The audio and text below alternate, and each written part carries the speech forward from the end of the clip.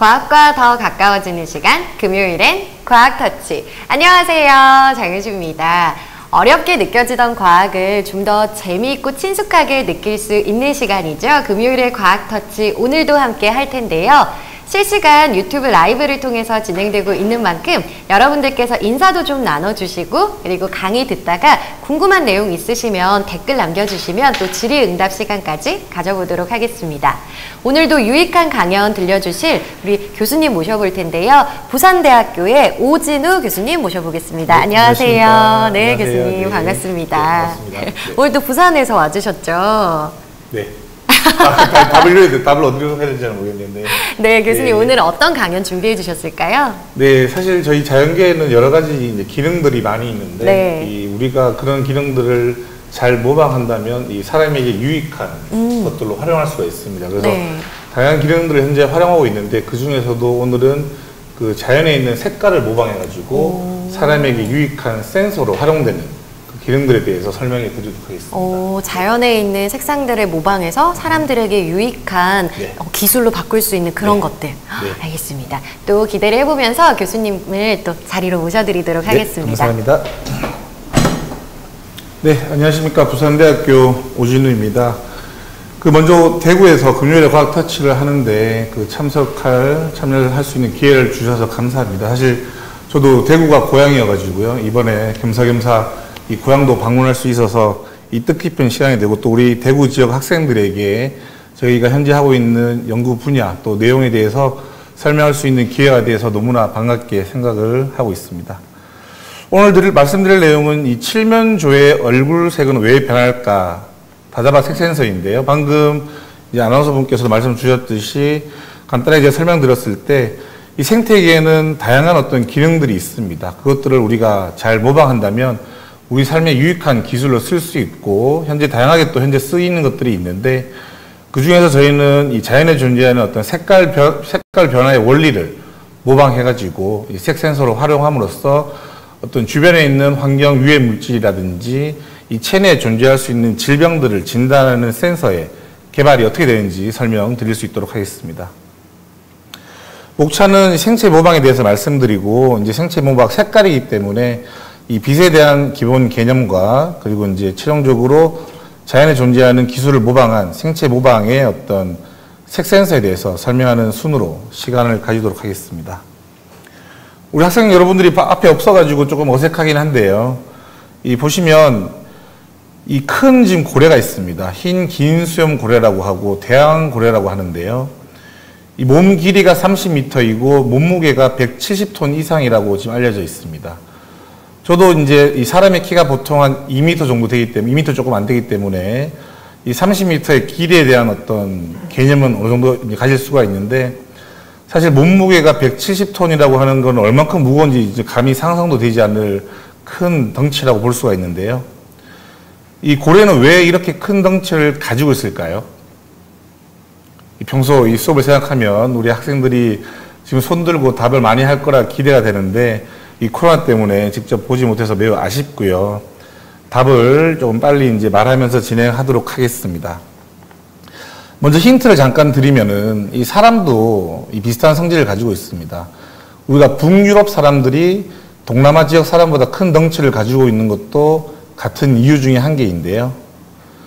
그 이유는 이 베르그만 법칙에서 찾을 수가 있습니다. 베르그만의 법칙은 몸이 클수록 부피에 대한 표면적인 비율이 줄어들게 되어서 상대적으로 체온을 외부로 덜 뺏기게 되는 현상을 말합니다. 보시면은 제일 왼쪽에 상자 한 개가 있을 때 총 상자 개수가 한 개인데 표면에 드러나 있는 상자 개수도 한 개입니다. 그래서 표면 상자 비율이 전체 비율의 100%인데요. 개수가 늘어날수록 예를 들어서 64개가 있으면은 64개 총 상자 개수 중에서 바깥쪽 표면으로 드러나 있는 것들은 56개, 87%가 됩니다. 근데 이게 커지면 커질수록 총 상자 개수가 1000개가 되면은 표면 상자 개수가 50% 이하로 떨어지게 됩니다. 결국은 바닷속은 매우 차가운 온도, 낮은 온도로 이루어져 있는데 이 고래 같은 경우는 항온동물, 포유류에 속합니다. 결국 이 인체에 있는 체온을 뺏기면은 이제 추워서 죽게 되는데요. 큰 덩치를 가짐으로써 체내에 있는 열을 최대한 적게 뺏기게끔 진화되어 가지고 고래가 크게 덩치가 커지게 되었습니다. 사람 같은 경우도 북유럽에 사는 사람들이 추운 지방에 살기 때문에 덩치가 큰 쪽으로 진화되면서 되게 되었고요. 반대로 동남아시아나 아프리카 지역 사람들은 더운 지역에 살기 때문에 체내 열을 발산하기 쉽도록 작은 덩치로 이제 진화되게 됩니다. 코 같은 경우도 이제 동남아 쪽은 코가 납작한 이유는 더운 열기를 바깥쪽으로 빨리 배출시키기 위한 거고 이 북유럽 사람들이 코가 큰 이유가 차가운 공기가 체내로 들어왔을 때 일어날, 일으킬 수 있는 위험성을 막기 위해서 코가 이제 크게 이제 진화되었다라고 알려져 있습니다. 그래서 현재 여러분들도 가지고 있는 인체의 특징이 뭐 유럽 사람들, 뭐 남미 사람들, 동남아 사람들 차이가 우리가 사는 지역에 최적화되어서 이제 진화된 걸로 보시면 참 신기한 것들을 알 수가 있습니다. 간혹건대 학생들 중에 그러면 이 에스키모인들은 왜 아시아인들과 닮았나라고 물어볼 수 있는데요. 사실 에스키모인들은 아시아계 사람들이 북쪽으로 이동하면서 이제 어떻게 보면 추위로부터 버티는 체내의 이 지방층이 두꺼워지면서 버티게 되면서 이 북유럽과는 좀 다르게 진화된 경우라고 보시면 되겠습니다. 그 생체 모방은 이 생명을 뜻하는 이 바이오스와 모방이나 흉내를 의미하는 미믹스 두 개의 어떤 그리스 단에서 따온 말인데요. 이름에서 알 수 있듯이 생체 모방은 자연에서 볼 수 있는 디자인적 요소들이나 생물체의 특성들의 연구 및 모방을 통해 인류의 과제를 해결하는 결국 우리가 잘 먹고 잘 사는 행복하게 살 수 있는데 도움을 주는데 그 목적이 있습니다.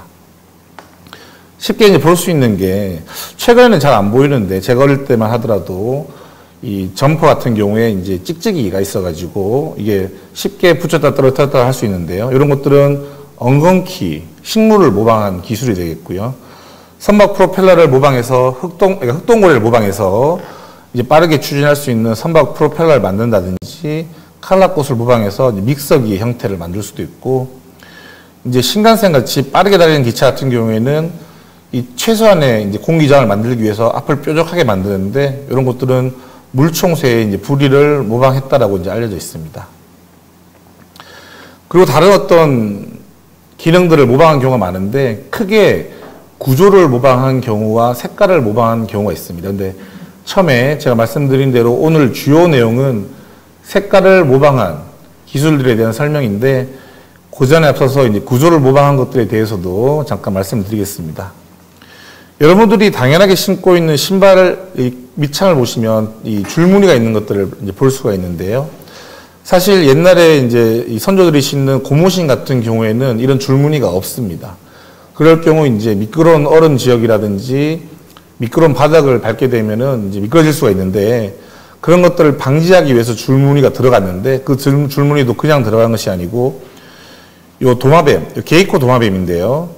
동화뱀, 개코 동화뱀뿐만 아니라 파충류들이 대부분 가지고 있는데 이 손바닥에 있는 줄무늬로부터 어떤 벽면에 미끄러운 부분을 잡았을 때 미끄러지지 않게 하는 것들을 모방해서 만들어진 걸로 알려져 있습니다. 보시면 개코 동화뱀을 모방해서 만든 로봇인데요. 90도 경사면에 유리면에 있더라도 미끄러지지 않고 잘 붙어 있는 것들을 확인할 수가 있습니다.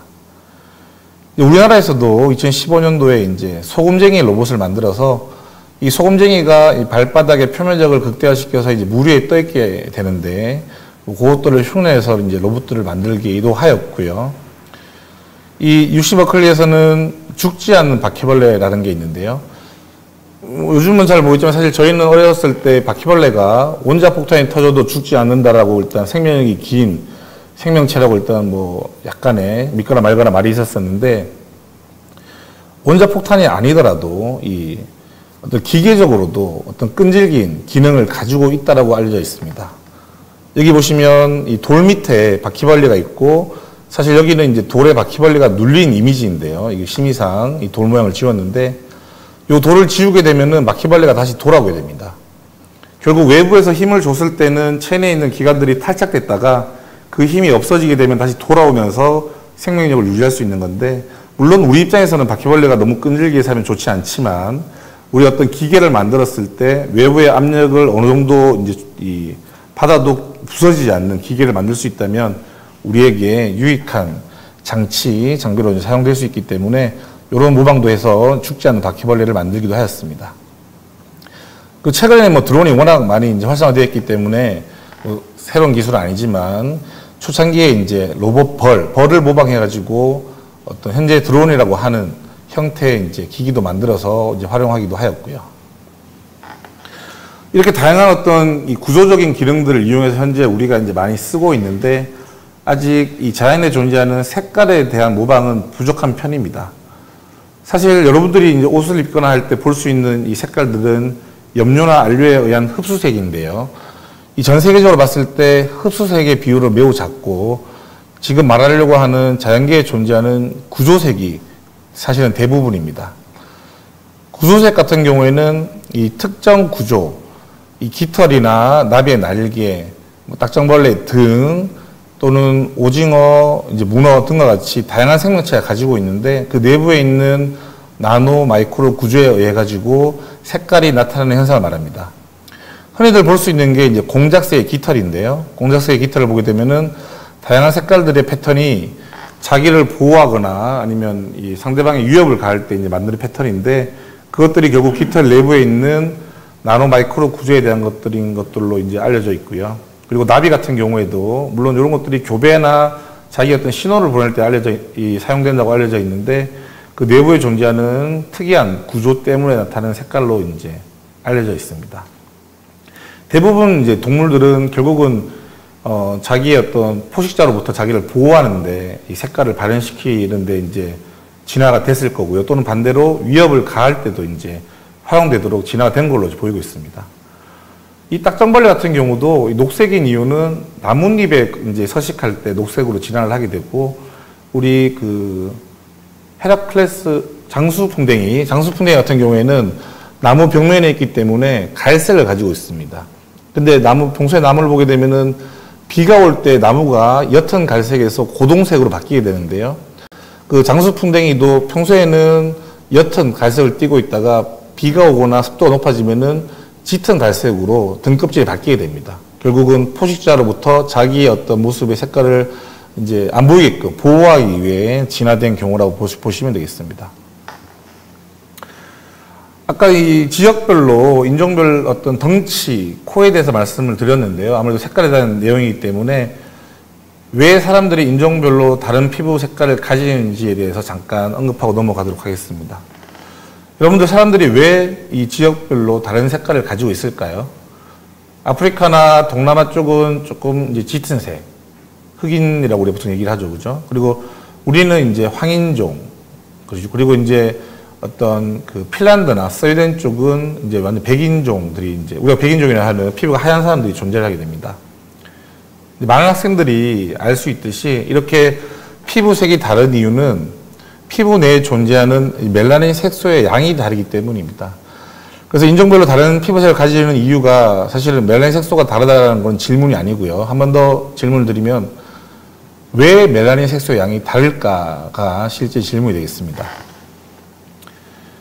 그 답은 우리가 적도 지방의 동남아라든지 아프리카 쪽은 햇볕이 매우 강합니다. 평소에도 40도 이상의 높은 고온으로 알려져 있는데 햇볕이 많기 때문에 그러면 이제 이 햇볕 중에는 뒤에 잠깐 말씀드리겠지만 다양한 종류의 길이를 가지는 파장을 가지는 빛들이 존재하게 되는데 그 중에서 이 자외선이라 불리는 짧은 파장대의 빛은 사람의 피부에 들어왔을 때 사람의 피부 내에 존재하는 세포들이나 여러 가지 기관들하고 서로 안 좋은 간섭이 일어나기 때문에 암이라든지 어떤 피부의 조직을 괴사시킬 수 있는 위험성이 있습니다.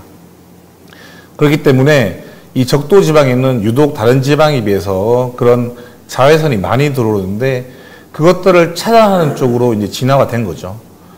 그 차단하기 위해서는 피부 내에 멜라닌 속수가 많을수록 그런 UV, 그런 자외선들을 흡수하기 때문에 피부 내에 그 빛들이 들어온 것을 막게 되고 자연스럽게 피부가 검을수록 생존하게 되게 되었습니다.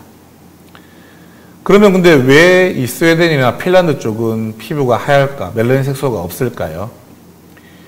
그 이유는 이 사람을 이제 살아가는데 필요한 여러 필수 영양소들이 있는데 그 중에서도 비타민들이 매우 중요한 역할을 합니다. 많은 비타민들은 음식물로부터 취할 수 있는데 그 중에서 비타민 D는 햇볕을 받아야지만 합성할 수 있는 특이한 성질을 가지고 있습니다. 비타민 D가 없으면 그룹병이라든지 다른 질병에 걸려가지고 사람들이 건강하게 사는데 이제 건강하게 살지 못하게 하는데요.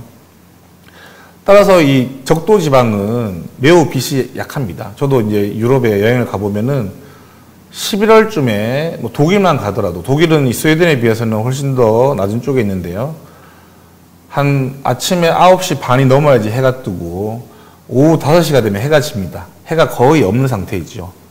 그러면 그보다 더 위에 쪽에 있는 핀란드와 스웨덴은 겨울이 되면은 거의 하루 종일 해가 없는 경우도 있습니다. 그렇게 되면 몸속에서 비타민 D를 합성하지 못하기 때문에 질병을 가질 수가 있죠. 그렇기 때문에 이쪽 북유럽 사람들은 햇볕만 나오면은 바깥쪽으로 나와가지고 선탠을 하려고 하는 모습들을 우리가 TV에서 많이 볼 수가 있습니다. 그래서 각기 생존을 위해서 이제 이 햇볕이 작은 이 북극 쪽 사람들은 피부가 하얗게 되는 거고 반대로 햇볕이 많은 적도 지방의 사람들은 피부가 검게 되는 게 결국 생존 원리라 볼 수 있고요. 하지만 지금은 보면 남아프리카 공화국에도 백인들이 살고 영국에도 흑인들이 삽니다. 그죠? 지금은 뭐 여러 가지 이 자외선을 차단할 수 있는 크림도 많이 개발되어 있고 그리고 비타민 D도 이제는 합성할 수 있기 때문에 그리고 굳이 햇볕을 받지 않아도 먹고 어떤 질병을 얻지 않게 몸을 보호할 수 있기 때문에 현재는 다양한 지역에 여러 이제 피부색을 가지는 사람들이 공존할 수 있는 시대가 도래했습니다. 조금 더 색깔에 질문을 드리면요. 우리 그 아까 사우디아라비아 동남아 쪽, 어, 아니, 저기 중동 쪽이죠. 중동 쪽 가게 되면은 이 사람들이 검은 천을 덮고 있는 걸 볼 수가 있는데요. 뭐 일종의 뭐 여러 가지 이름이 있는 것 같은데 뭐 보커라고 하는 명칭의 어떤 천을 덮어 쓰게 되는데 이 검은 옷을 입으면 이 더워질까요? 서늘해질까요? 이 질문을 왜 드리냐면 저도 어릴 때 어머니가 항상 저한테 여름에 검은색 옷을 입으면 더운데 왜 검은색 옷을 입으냐고 이제 뭐라고 하셔가지고 이제 그런 궁금증이 생겨서 이제 내용을 넣었는데요. 이 중동 지방은 아까 햇볕이 매우 많기 때문에 안 그래도 평소에도 40도가 넘는 매우 더운 지역인데 그럼에도 불구하고 검은색 천을 쓰는 검은색 천을 덮어 쓰는 이유가 왜일까요? 라는 게 질문입니다. 그 답은 우리 그 비닐하우스하고 비교해서 설명하면 할 수가 있겠는데요. 사실 검은색 천은 이 태양에서 오는 모든 빛을 흡수합니다. 그래서 근데 문제는 그 빛을 다 흡수하기 때문에 천의 바깥쪽은 매우 뜨거운데 천 안쪽으로는 빛이 통과하지 못하기 때문에 안쪽은 시원해지는 거죠. 그래서 중동 지역 사람들이 보면은 이 두꺼운 검은 천을 덮고 쓰고 있지만 안쪽에는 또 다른 옷을 입고 있습니다. 그래서 바깥쪽으로부터 더운 빛을 차단하고 안쪽은 시원하게 유지하는 거고요. 이와 반대로 볼 수 있는 게 비닐하우스인데 이 투명한 흰색으로 되어 있는 천이 있다면은 빛의 모든 부분을 투과시켜 가지고 안으로 들어가게 되고 그 빛이나 열이 바깥쪽으로 나올 때 한 번 더 차단하면서 복사열이 되면서 안이 더 뜨거워지는 따뜻해지는 상태가 되겠습니다. 그럼 예전에 이제 말씀하신 어머니의 말씀이 틀렸, 틀렸느냐? 그건 또 아닙니다. 왜냐하면 우리는 여름에 이 검은 천을 입을 때 두꺼운 천을 덮어 쓰는 것이 아니고 피부, 피부에 접하는 얇은 티셔츠를 입기 때문에 이 검은 티셔츠가 열을 받은 다음에 피부를 바로 전달하기 때문에 여름에 이 더운 티셔츠 입으면 더운 거 맞습니다. 그죠? 이 두껍게 덮어 썼을 때 이 차이가 있다는 것들을 여러분들이 인지하고 옷을 입으면 더 시원하게 여름을 보낼 수가 있겠죠. 그럼 이 흰색을 조금 더 얘기하면은 옆에 보시면 북극곰이 있고 북극새가 있고 북극술록이 있는데 이 동물들은 왜 흰 깃털을 가지고 있을까요? 언뜻 생각했을 때 두 가지 이유가 있을 것 같은데요. 북극에는 눈이 많으니까 이 북극술록이라든지 북극새가 포식자로부터 내 몸을 보호하기 위해서 흰색으로 진화가 됐을 수도 있을 것 같아요. 그리고 북극 곰 같은 경우에는 최상위 포식자이지만 얘들도 이제 조심조심 먹이를 잡을 때 자기 몸을 숨겨야 되기 때문에 흰색으로 진화를 할 수도 있겠지만 그것보다도 이제 오늘 방금 얘기했던 거의 포인트를 본다면 이 깃털이 우리가 볼 때는 흰색으로 보이지만 실제로는 투명한 융털입니다. 그거는 이제 우유가 흰색으로 보이는 거랑 같은 원리로 빛의 산란 때문에 흰색으로 보이는 건데요. 투명한 융털이기 때문에 아까 여기서 얘기했듯이 태양으로부터 오는 빛이 이 융털이 흡수하지 않고 산란시켜서 내부로 보내면서 이 곰의 피부를 따뜻하게 하는 역할을 하는데 사용이 되고 있습니다. 그래서 실제 북극곰이 깃털은 흰색이지만 투명한 융털로 이루어져 있지만 피부는 검은색입니다. 융털을 통과한 빛이 피부로 도달했을 때는 최대한 빛을 많이 흡수하게끔 진화가 되면서 각기 삶을 살고 있는 참 재미있는 결과라고 보시면 되겠습니다. 이 색깔이 진화를 위해서 이제 바뀌고 결정이 되어지는데 불행히도 이제 유전자 유전자의 어떤 변형에 의해서 원하지도 않는데 이제 색깔이 특이한 색깔을 가지는 경우가 있습니다. 그런 경우 이제 이, 이 멜라닌 색소가 없는 경우 알비노라고 하는데요. 실제 아프리카에도 이제 아기가 태어날 때 알비노 현상을 가지고 태어나게 되면은 피부가 이제 하얗게 흑인임에도 불구하고 피부가 하얗게 태어나면서 되게 되는데 그때는 아까 말씀드렸듯이 외부에서 오는 어떤 유해, 자외선을 차단 못하기 때문에 그 아이의 건강에 치명적 영향을 줄 수가 있고요. 몸이 약하기 때문에 이제 계속 2세대, 3세대 이제 연장하지 못하고 이제 짧게 사는 경우가 예전에는 많았습니다. 최근에는 뭐 약도 개발되고 하기 때문에 그러지 않을 거라고 생각이 드는데요. 그럼 다음 중 알비노에 의한 색깔이 흰 것은 무엇일까요? 여러분들 요 다섯 가지는 전부 다 알비노입니다. 알비노 쿠두, 알비노 악어, 알비노 집박이새, 알비노 아프리카 발톱 개구리, 알비노 공작새. 그 색깔들이 진화를 함에 있어가지고 이제 생존을 위해서 진화해서 결정되어진 것들도 있지만 원하지 않게 어떤 유전자의 변이에 따라서도 이런 흰색을 나타낼 수 있다라는 경우를 보여드리려고 자료를 준비했습니다. 그래서 현재 지금 색깔에 대해서 얘기를 하고 있고 생체 모방에 대해서 얘기하고 있는데요. 각각의 어떤 삶의 목적, 결국은 살아남기 위해서 그죠. 모든 동식물들은 생존이 가장 큰 목적입니다. 그래서 잘 살아남기 위해서 그리고 또 잘 잡아먹기 위해서 진화되어지면서 각기 다른 특색의 색깔들을 가지고 있는데 이런 색깔들을 우리가 잘 모방한다면 사람에게도 유익한 기술로 이제 활용할 수가 있습니다. 이 색을 이용하기 위해서 간단하게 그 빛에 대해서 이론적으로 설명드리겠습니다. 이 빛 같은 경우에는 파동성이 파동성과 입자성 두 개를 동시에 가지고 있다라고 알려져 있는데요. 보통 이제 물 속에 빛이 들어갔을 때 굴절되는 현상은 이 파동성과 영향이 많이 이제 미쳐지고요. 요즘에 여러분들이 많이 들을 수 있는 태양전지와 같은 경우들은 빛의 입자성으로 빛이 입자성을 가지고 있기 때문에 나타나는 성질입니다.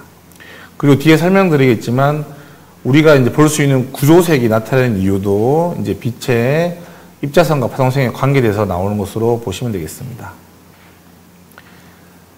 아까 잠깐 말씀드렸듯이 세상에는 다양한 종류의 길이를 가지는 파장이라고 하는데 반복되는 길이 가지는 빛이 존재하게 되는데 이 빛이 가지는 파장과 간섭하는 크기의 물체가 있으면 서로 다른 간섭을 일으킵니다. 예를 들어서 우리가 이제 요즘에 여러분들은 라디오 잘 안 들을 것 같은데 라디오를 들을 때 보통 도시에서는 FM을 듣는데 차를 타고 가다가 산악이 나오게 되면은 FM을 들을 경우 지직 지직 거리게 됩니다. 대신에 그때 AM으로 이제 돌리게 되면은 소리가 깨끗해지는데요. 파장 입장에서 얘기하면 FM이 파장이 짧고 AM이 파장이 긴데 이, 검, 이 도시에서는 FM 길이만큼의 큰 건물이 없는데 산악 지역을 가게 되면은 산의 크기가 너무 크기 때문에 이 FM과 간섭을 일으킬 수가 있습니다. 이때 FM보다 더 긴 파장의 AM으로 바꾸게 되면은 이 AM이 이 산의 크기와 이 간섭을 일으키지 않기 때문에 깨끗한 신호를 얻을 수가 있습니다. 조금 더 쉽게 말씀드리면은 빛이 들어올 때 제 몸이 이제 두께가 한 1m까지는 아니고 1m라 치더라도 1m 두께를 가지고 있으면 1m보다 긴 파장이 들어오게 되면은 제 몸을 그냥 지나갑니다. 하지만 이 제 몸의 크기 1m보다 작은 파장이 빛이 들어오게 되면은 몸과 간섭을 하는 거죠. 그래서 아까 자외선이 나쁘다는 게 자외선은 파장이 300나노미터 매우 작은 크기의 이제 파장을 가지고 있어가지고 몸에 들어오게 되면은 이 300나노미터 크기와 관계되는 세포라든지 뭐 단백질 여러 가지 물질들과 간섭을 일으켜 가지고 결국 간섭을 일으킨다는 얘기는 열을 주는 거거든요. 그게 되면 몸을 훼손시켜 가지고 이제 어떤 질병을 일으킬 수가 있습니다. 비슷한 원리를 이용한 게 이 전자레인지인데요.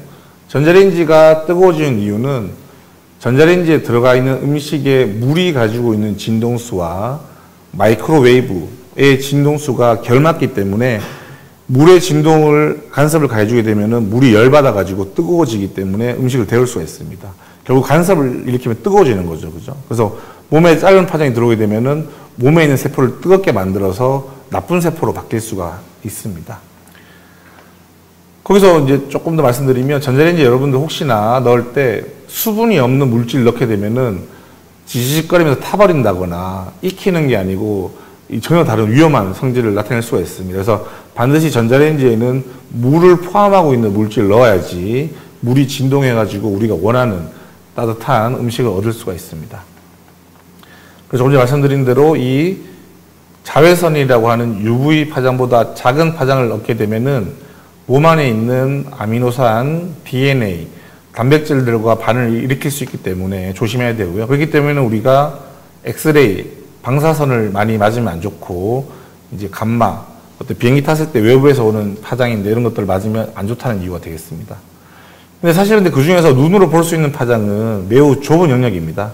가시광선이라고 하는 300나노미터에서 800나노미터인데 이것들을 눈으로 볼 수 있고 이걸 활용해서 이제 우리가 이 사람에게 유익한 센서로 활용하는 게 목표입니다.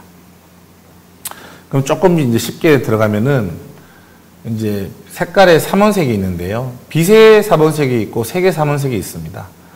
빛 같은 경우에는 빨강, 파랑, 초록으로 이제 나눠지고요. 특징은 이 세 가지의 색을 섞으면은 흰색이 된다는 게 특이점이 있습니다. 이 빛의 삼원색의 원리로 이제 구조색이 나오게 되는데 아까 칠면조, 칠면조 아니고 그 공작새 깃털, 색깔을 그런 것들은 깃털에 있는 주기적으로 반복되는 나노 구조로부터 나오는 색깔입니다. 이거는 빛의 회절과 간섭, 산란 현상의 어떤 복합적인 결과물인데요. 이 크기가 크거나 간격이 넓으면은 파장이 긴 장파장 때, 우리 파장이 길면 장파장은 붉은색입니다. 붉은색이 보이게 되고, 이 크기가 짧, 작거나 간격이 좁으면은 단파장, 짧은 파장, 짧은 파장은 푸른색입니다. 푸른색이 보이게 되면서 이 크기에 따라서 색깔이 바뀌게 되는 현상이 보이게 되고요. 이렇게 색깔이 외부 자극에 의해서 바뀌는 현상을 이용해서 이제 센서로 활용할 수가 있게 됩니다.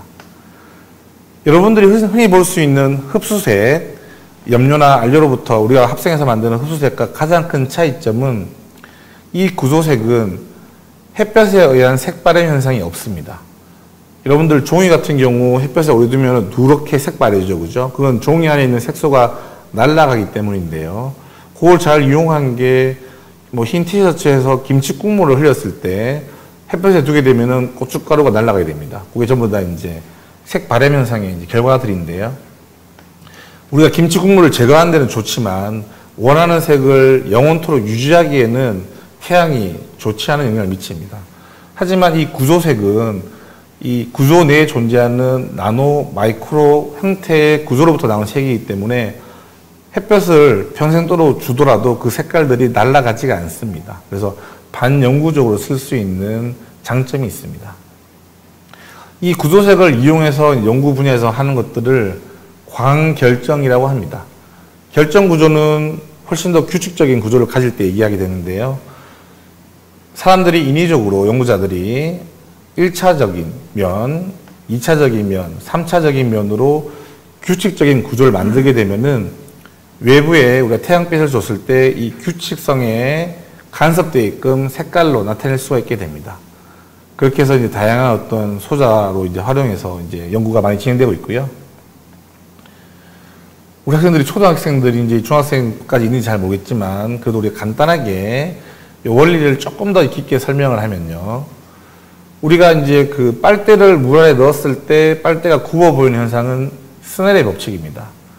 어떤 공기가 가지고 있는 굴절률과 물이 가지고 있는 굴절률의 차이 때문에 생기는 건데요.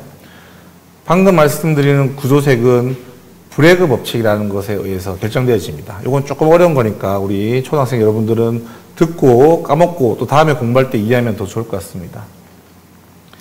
빛은 이 파동, 물결 물을 가지고 들어오게 되는데 결정 구조를 가지게 되면은 위에서 들어오는 물결과 아래에서 들어오는 물결에 위상차가 생기게 됩니다.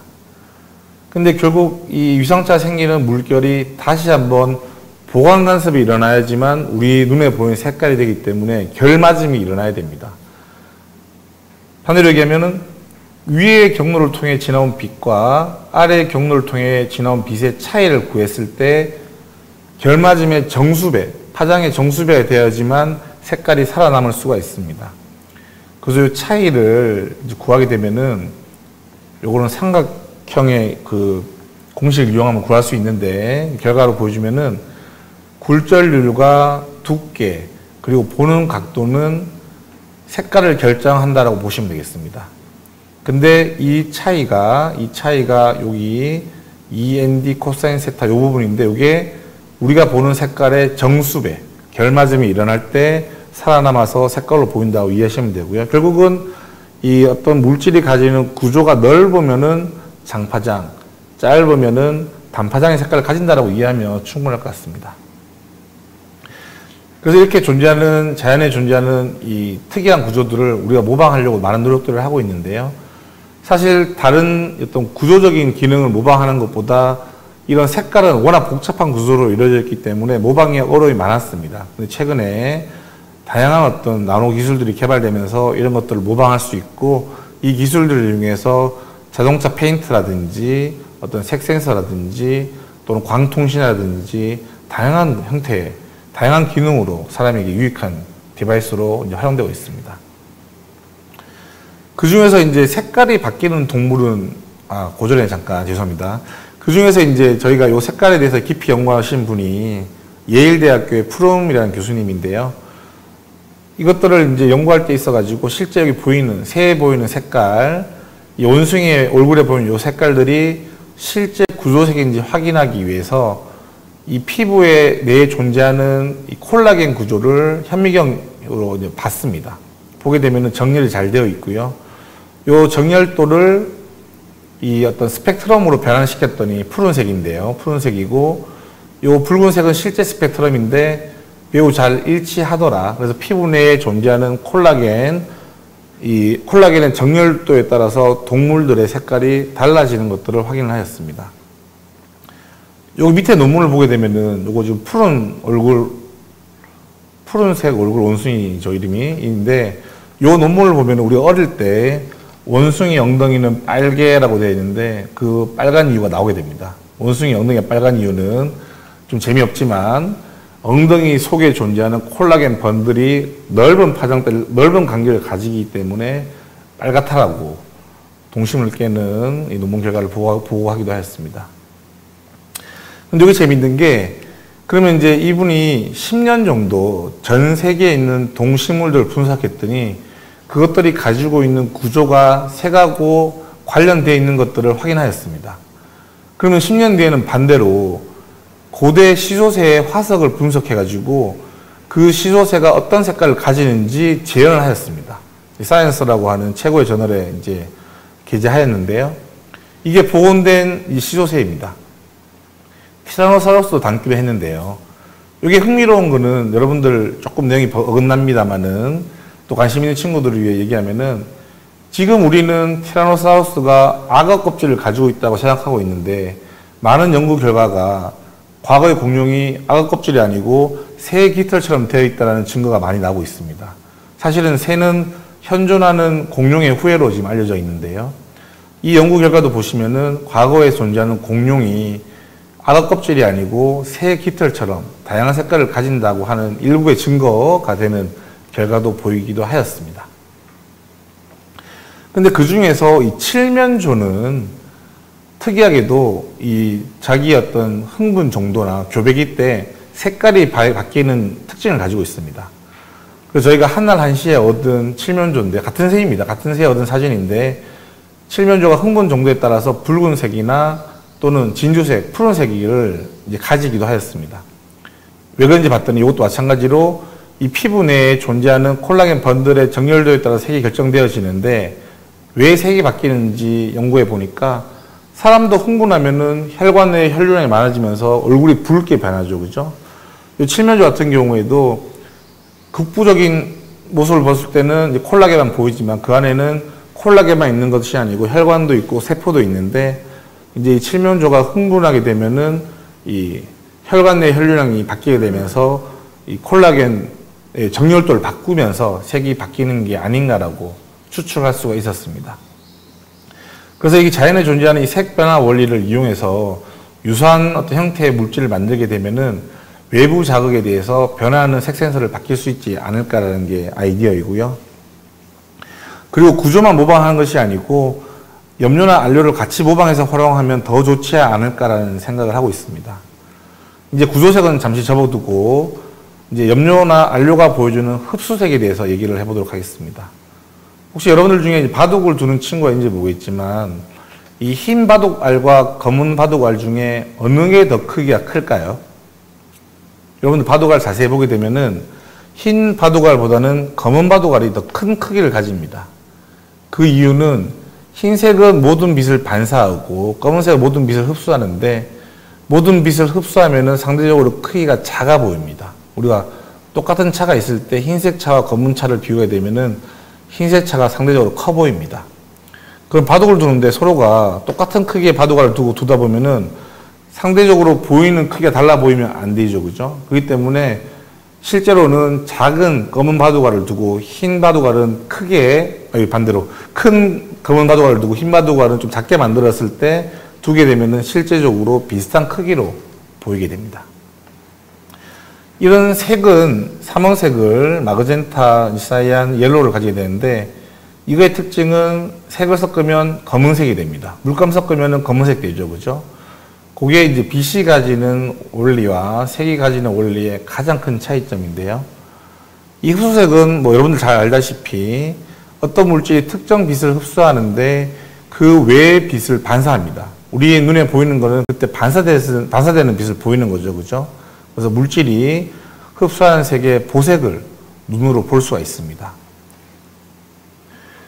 자연계도 보면은 어떤 이런 색깔들이 주변 자극에 따라서 바뀌는 걸 볼 수가 있는데 특히나 이 단풍잎을 보게 되면은 외부 온도에 따라서 온도가 이제 낮아지면은 색깔이 바뀌는 경우가 있습니다. 그래서 여름철에 녹색의 단풍잎이 가을철이 되면은 노란색이 되거나 붉은색이 되는 이유가 그런 이유인데요. 이렇게 자연계에 존재하는 어떤 외부 온도, 외부 자극에 의한 색변화 원리를 이용하면 이것도 마찬가지로 색 센서로 활용할 수가 있습니다. 이런 색깔들을 이용해서 저희가 이제 센서를 개발하려고 하는데 이 센서는 최근에 이제 센서를 센서 얘기를 잠깐 하면요. 센서는 다양한 게 있겠지만 현재 결국 가려고 하는 것들은 사람의 코나 이제 개코처럼 매우 높은 감도를 가지는 센서를 개발하려고 노력하고 있습니다. 개 같은 경우에는 사람보다 50배 많은 후각 센서를 가지고 있지만 1억 배 이상의 높은 감도를 가지는 걸로 알려져 있습니다. 개가 마약도 탐지할 수 있고 암도 진단한다고 알려져 있죠. 그죠? 그래서 현재 이 개코를 모방한 이 전자코 연구가 많이 되어지고 있고요. 앞에 말씀드린 색깔 원리를 이 전자코에 도입함으로써 눈으로 볼 수 있는 이 개코의 기능을 가지는 특성을 가지는 색 센서 개발에 대한 연구가 활발히 진행되고 있습니다. 이렇게 개발된 이 색 센서들은 이 주위에 있는 유해 물질들, 환경 호르몬이라든지 음식물이 탔을 때 나오는 유해 물질들 또는 질병 진단, 폐암이라든지 여러 가지 질환들을 질병 데 활용될 수도 있고요. 그리고 향이 나는 물질들, 매운 향 또는 뭐 커피향 것들 또는 커피의 원산지 같은 것들을 판별할 때도 활용될 수가 있습니다. 그래서 현재 이 여러 센서들이 개발되고 있는데 아직까지는 임신 테스터기라든지 당뇨 진단기 등 특정 센서가 하나의 타겟만 이제 센싱하는데 머물러 있기 때문에 이것을 극복해 가지고 하나의 센서로 다양한 어떤 질병 유해 물질들을 동시에 측정하는 기술들이 개발되고 있고요. 이것들을 처리하기 위해서는 어떤 신경계에 존재하는 시스템도 모방을 잘 해야 되고 이 많은 센서로부터 나오는 무수한 데이터들을 처리해야 되기 때문에 요즘 여러분들이 들을 수 있는 big data라든지 인공지능, deep learning에 대한 기술이 혼합돼야 됩니다. 사실은 이게 지금 여러분들이 볼 때 조금 어려울 수 있는 건 융합 기술이 총 집합되어 있기 때문인데요. 그래도 말씀드리고 싶은 건 색깔부터 이어져 오는 이 센서 개발이 결국은 융합화되어 가지고 요즘 얘기하고 있는 big data deep learning을 통해서 융합돼야지만 우리가 원하는 더 고기능의 이제 어떤 그 사람에게 도움되는 이 device로 활용될 수 있다는 것들을 말씀드리고 싶습니다. 그렇게 했을 때 뭐 다양한 어떤 약이라든지 유해한 물질들, 항생제들을 우리가 손쉽게 구분할 수도 있고 실제 저희 최근 연구 결과에 따르면 사람의 호흡을 이제 취했을 때 이 건강한 사람과 폐암 환자를 방금 말씀드린 어떤 색깔을 가지는 색을 모방한 이 센서 시스템으로 측정할 수가 있었습니다. 그리고 요 이러한 센서들 차세 전자코를 이용하게 되면은 폭발물도 이제 생신할 수도 있고 그리고 유해 물질뿐만 아니라 과일의 신선도에도 활용할 수 있습니다. 요즘에 코로나 때문에 여러 이제 배달 음식들을 많이 시켜 먹고 있는데요. 그것들이 이제 얼마만큼 안전하게 또는 과일들이 얼마만큼 안전하게 유통되는지가 우리들의 많은 관심사입니다. 그런 것들을 앞서 말씀드린 기술들을 융합시켰을 때 우리가 생신할 수 있고 이런 것들을 폭넓게 활용했을 때이 사람에게 우리 삶에 더 유익하지 않을까 생각이 들고 있습니다.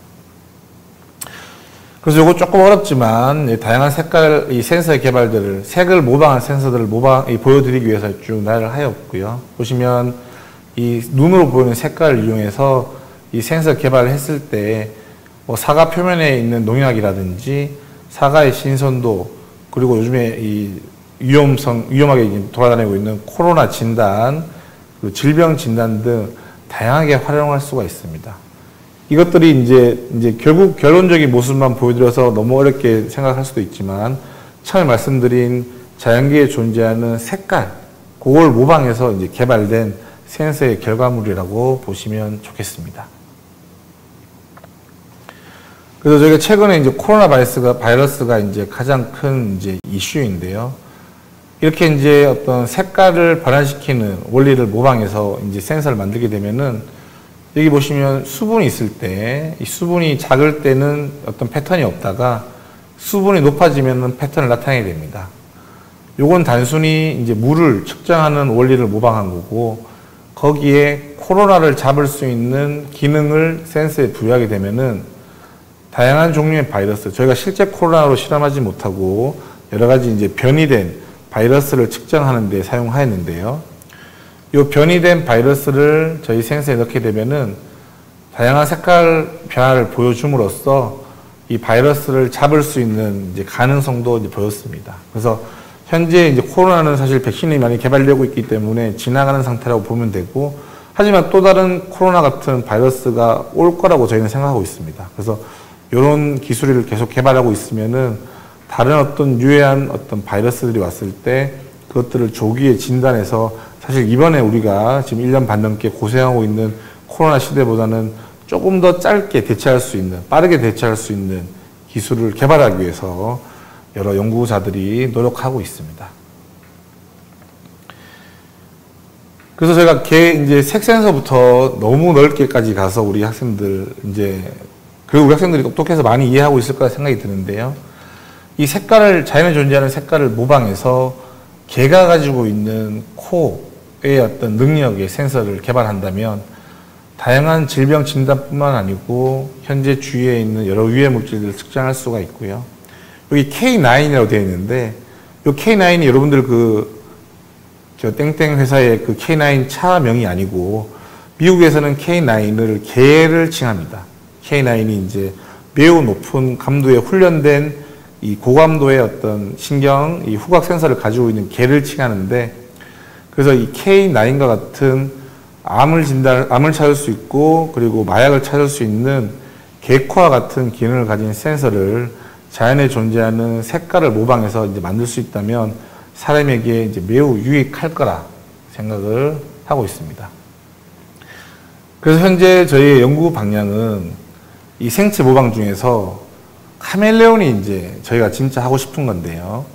앞에 이제 구조색과 흡수색을 분리해서 얘기했는데 요 카멜레온의 색 변화 원리는 구조적인 변화와 색소 변화를 동시에 가지고 있습니다. 그래서 카멜레온은 주변에 있는 어떤 색 변화를 실시간으로 감지해 가지고 자기 몸을 뭐 감춘다든지 밖에 드러나지 않게끔 변화시키는데 사실 이게 너무 복잡해 가지고 저희가 연구자 연구자 입장에서 모방해서 응용하기에는 아직은 여러 가지 어려운 점이 많습니다. 하지만 이 두 개의 구조적인 색 변화와 색소 변화의 원리를 잘 모방한다면 뭐 고기능의 센서로 활용할 수도 있지만 예를 들어서 우리가 이것들을 군인 아저씨들이 입는 군복으로 만든다면 군인 아저씨가 산에 갔을 때 녹색으로 바뀌고 사막에 갔을 때 누런색으로 바뀌면은 훨씬 더 어떤 이 나의 모습을 숨길 때 도움이 되는 뭐 그런 식의 예를 활용할 수 있지 않을까 기대를 하면서 현재 연구를 진행 중에 있습니다. 네, 여러분들 그 저희가 이제 색변화부터 좀 많은 것들을 담기 위해서 좀 융합적인 연구 결과까지 보여드려 가지고 어, 어떻게 생각하시는지 모르겠는데 넓고 재밌게 바라봐 주시고요. 어, 많은 질문 부탁드리겠습니다. 경청해 주셔서 감사합니다.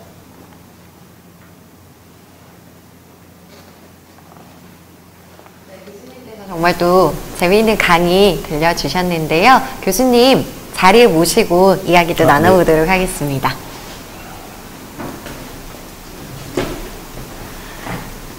교수님 강의를 너무 쉽고 재미있게 해주셔서 네.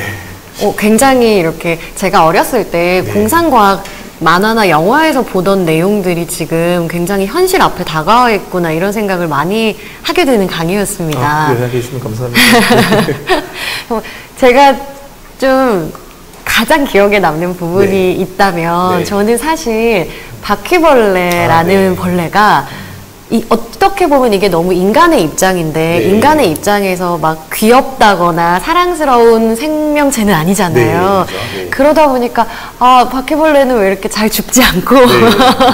이렇게 오래 살아있나 끈질기나라는 생각을 어떤 인간의 이기적인 생각을 해봤는데 오늘 교수님께서 말씀해주신 것처럼 바퀴벌레의 그런 생명력이 어, 어떻게 보면 또 인간이 연구해서 인간에게도 도움이 될 수 있는 그런 부분이 있다는 생각이 들어서 아 또 이렇게 배워가는구나 하는 생각이 들었습니다. 오늘 강의 보시면서 많은 분들이 또 인사도 나눠주셨고요. 안녕하세요 네, 하면서 안녕하세요. 반갑습니다. 네. 그리고 또 중간중간에 대답도 함께 해주셨어요. 네, 네. 그리고 또 질문을 많이 남겨주셨는데요. 어, 인공코 이야기가 인상적이셨나 봐요. 네. 그래서 인공코처럼 인간의 신체 기관을 모방해서 장착한 그런 로봇이 나온다면 나중에는 인간과 로봇의 경계가 점점 줄어들지도 모르겠네요. 라고 질문을 또 주셨거든요. 네. 그런 날이 곧 올 것 같아요. 강의를 들었더니.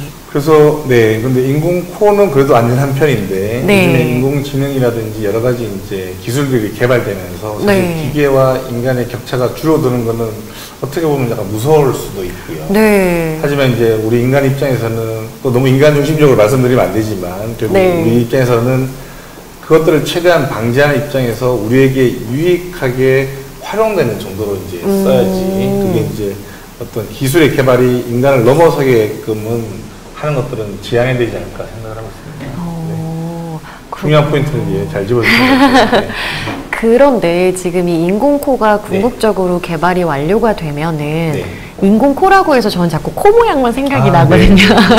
근데 아까 네. 보여주셨던 것처럼 다양한 형태로 활용이 될 수가 있는 건 거죠? 네, 인공 코라고 하는 거는 사실 모양 자체를 얘기하는 건 아니고 사람의 코는 600만 개의 센서가 있습니다. 네. 걔는 이제 3억 개가 있고 결국은 많은 센서로 조합되어 있는 것들을 이제 인공 코라고 얘기하는 거고 음. 그 많은 종류의 이제 센서들이 대상 물질이 왔을 때 어떤 반응성을 보여주는 게 이제 코의 원리를 모방하는 거고 네. 그 중에 우리가 알고 있는 것 중에 가장 훌륭한 센서는 개코이고요. 어, 네. 네, 우리 흔히들 걔는, 네. 개코다 이렇게 또 하잖아요. 네, 걔는 이제 뭐 이미 뭐 여러 가지 언론에 보도되었지만 암 환자를 구별할 수도 있고 어. 우리도 이제 공항에 가면은 이제 마약이라든지 여러 가지 네. 향을 만들고 쓸수 있듯이 이제 그것들이 이제 마- 매우 높은 감도를 가지고 있습니다. 음. 근데 우리 연구자 입장에서는 걔가 이제 3억 개의 센서를 가지고 있는데 네.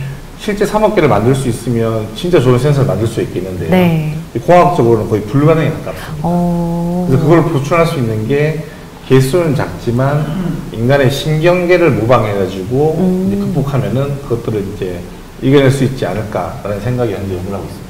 어, 그렇군요. 지금 또 어, 콜라겐에 대해서 이야기를 네. 해주셨는데 콜라겐의 배열을 다양하게 하면 음. 어떤 색이든 만들 수 있는 건가요? 맞습니다. 네. 네. 그래서 저희가 실제 실험할 때는 콜라겐은 이제 쥐의 꼴로부터 추출하거나 이제 받을 수가 있는데 아무래도 자연적인 물질 같은 경우에는 크기나 형태에 차이가 있기 때문에 실제 연구할 때는 균 이랑 크기를 가지는 바이러스의 일종의 물질을 가지고 연구를 했고요. 근데 말씀하신 것처럼 저희도 실제 콜라겐 가지고 연구를 해봤는데 네. 콜라겐들을 정렬을 잘 하면은 흰색부터 검은색까지 다양한 색깔들을 만들 수가 있습니다. 오, 그래서 또 이어서 질문을 네. 주셨는데 만약 그렇다면 동물의 콜라겐 구조를 바꿔서 동물의 피부색도 바꿀 수 있을까요? 라는 질문 주셨어요. 네, 맞습니다. 그게 이제 바꾼 게 아까 조금 짧게 설명드려서 이제 조금 이해가 덜 될 수도 있는데 칠면조가 색깔 바뀌는 이유가 콜라겐 구조를 바꾸기 때문에 칠면조가 붉은색과 흰색, 진주색을 가지는 거고 그리고 카멜레온의 색깔 바뀌는 이유도 이 체내에 존재하는 콜라겐 변들의 콜라겐의 어떤 정렬도의 차이 때문에 생기는 결과라고 보시면 되겠습니다. 그리고 문어가 재밌는데 여러분들 네. 문어를 유튜브로 찾아보시면은 문어는 진짜 상상할 수 없을 정도의 모양과 색깔을 바꾸기 때문에 그런 것들도 뭐 콜라겐이라기보다는 체내 조직의 어떤 모양 변화로 인한 결과를 보시면 되겠습니다. 그런데 이렇게 그러면 동물의 피부색을 바꿀 수가 있는 거잖아요. 네. 그러면은 인간들이 이 피부색에 따라서 어떻게 보면 인종이 나뉘는 건데 그럼 인종을 바꿀 수도 있는 건가요? 그죠. 그게 이제 아까 저희가 오늘 색깔에 대해서 넓게 얘기했는데 네. 색은 크게 구조색과 흡수색이 있는데 이 사람의 색깔은 흡수색입니다. 아. 멜라닌 색소가 흡수를 얼마나 하냐에 따라 색인 거고 네. 그 특이하게 이제 진화된 카멜레온이나 칠면조나 문어 같은 경우에는 구조색이기 때문에 그런 색깔을 거예요. 근데 불행히도 사람은 구조색을 가지고 있지 않아가지고 음. 그런 색깔을 만들 수는 없게 지금 진화된 상태입니다. 어, 그렇군요. 어, 그러면 그 센서의 아웃풋은 결국 색깔이 되는 것인지 그것이 정기적 신호로 변환될 수도 있는지요? 라는 질문을 또 주셨어요. 오히려 전문적인 질문을 또 해주시니 반갑습니다.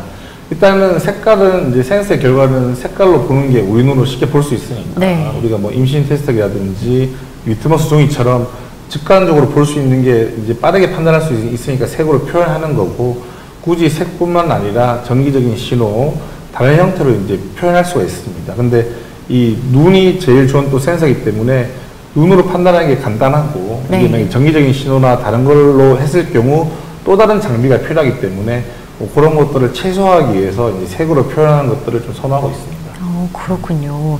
또 어떤 분께서는 변이 바이러스 같은 경우도 초기 바이러스와 같은 데이터를 통해 바이러스를 찾을 수 있는지 궁금하시다고 질문을 주셨어요. 네, 결국 뭐 변이된 바이러스 같은 경우에도 기본적인 염기 서열 자체는 일정한 상태고 거기서 일부분이 바뀌기 때문에 결국은 초기 어떤 물질의 어떤 데이터를 근거로 이제 하는 거고 그걸 정확히 알면 우리가 빠르게 진단할 수 있는 건데 사실 이번 코로나 같은 경우에도 그걸 초기에 판단하는데 이제 시간이 걸렸기 때문에 지금 어떤 백신이라든지 이게 좀 늦어지는 결과가 아닌가 생각을 하고 있습니다.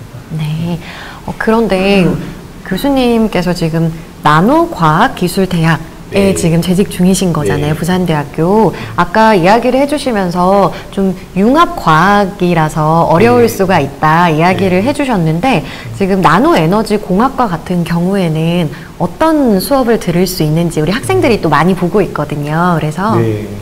우리 학생들 입장에서는 사실 요즘에 이제 화학, 뭐 초등학생들은 아직은 또 많이 시간이 남아있겠지만 이 대입 입시를 볼 때 좋은 점수를 받기 위해서 야- 사실 이 넓은 어떤 수업에 대한 공부보다는 좀 국부적인 공부를 많이 하게 되는 거예요. 네 입시 위주의 네, 입시 위주 수업을 하다 보니까 어려움이 많은데 근데 사실 대학을 오게 되면은 또 특히나 이공계를 오게 되면은 고등학교 때 하기 싫었던 학문을 또다시 해야 됩니다. 피해갈 수는 없거든요. 그래서 미리 하고 오시면 좀 더 쉽게 할 수 있고요. 특히 저희 나노과학기술대학 같은 경우에는 융합 학문이기 때문에 수학, 화학, 물리, 생물, 그 다음에 또 뭐, 이게 그 다음에 대학 와서 배울 수 있는 전자전기, 기계 같은 다양한 분야를 선접해야 되기 때문에 학생들이 미리 공부를 많이 해서 오면은 조금 더 빠르게 이제 그 어, 배우고 넓게 활용할 수 있지 않을까 생각을 하고 있습니다.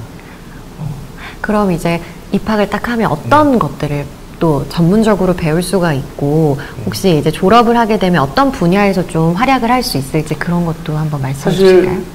융합이기 때문에 배우는 학문은 기존에 배우는 다양한 전통 학과들을 가지는 것들의 융합적인 것들을 다 배우게 되고요. 네. 과목으로 얘기한다면 아까 말씀드린 것들 포함해서 기계, 전자전기, 그 다음에 이제 화공 쪽까지 넓게 배우게 되는데 이 졸업해서 나갈 수 있는 길도 마찬가지로 다양합니다.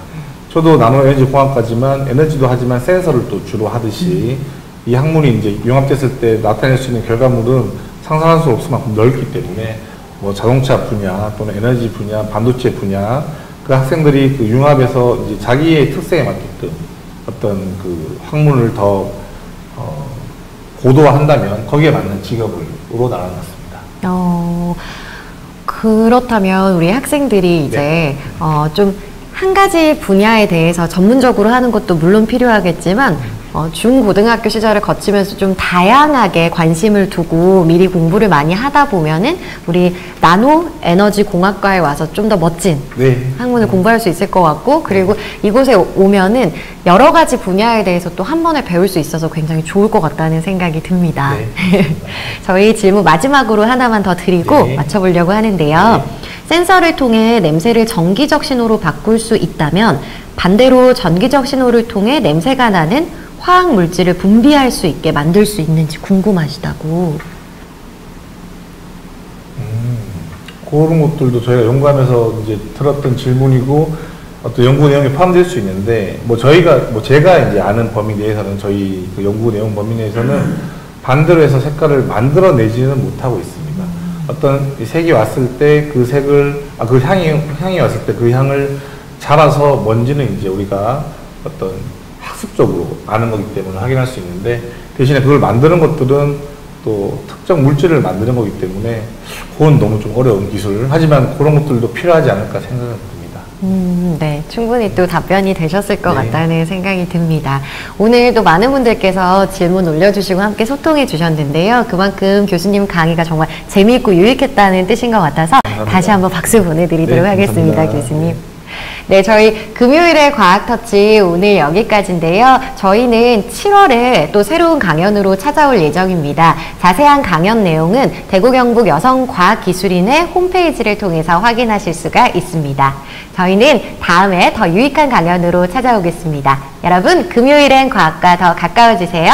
감사합니다.